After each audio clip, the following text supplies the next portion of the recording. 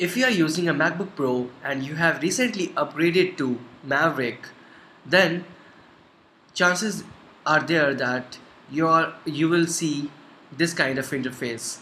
So first of all, what is our objective out of this video? We have to learn how to make your MacBook Pro a bit more secure so that any unauthorized access will be stopped.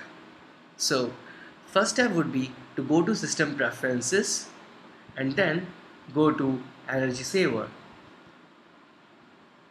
So click on it and then unlock this this lock by providing the password of your machine.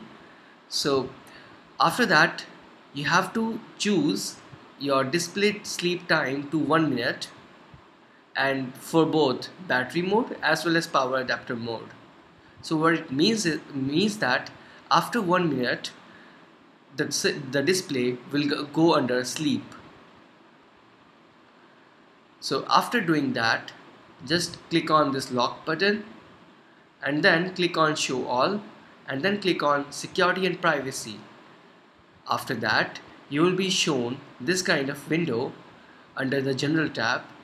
So as it says a login password has been set for this user change password. So in case you want to change the login password then you have to click on it.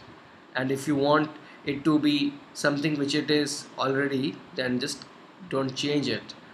Also about the frequency of locking of your system. So let's say after a minute your display goes for sleep. So after how much time should it really lock itself and ask for the password so herein we have selected immediately. So as soon as the display goes for sleep it will ask for the password. While if you want you you can change it as well. So let's say after going under sleep mode it will wait for one minute and then it will ask for the password. So let's say if you have accessed the machine after 30 seconds of its of its display um, which has been um, are in sleep mode. So then it will be accessible without password. So you have to understand like which of these will be most suitable for you.